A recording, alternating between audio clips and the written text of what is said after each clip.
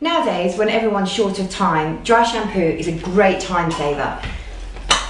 It's good to use if you've been at the office and you want to go for a night out and you just want to refresh your hair. You just take the can, lightly spray it about six to eight inches from the roots. Give a nice even light spray. The best thing about Klorane is that the spray itself is such a fine powder, it doesn't leave any gunky or sticky residue in the hair.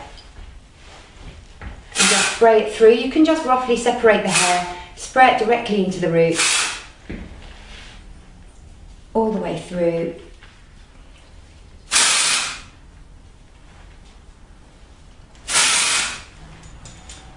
Just leave it for a couple of moments.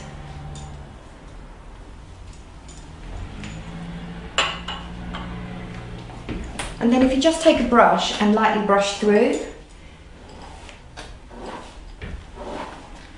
the powder's so light it just spreads through the hair and leaves the hair looking clean and refreshed. There we are, clean hair without any fuss.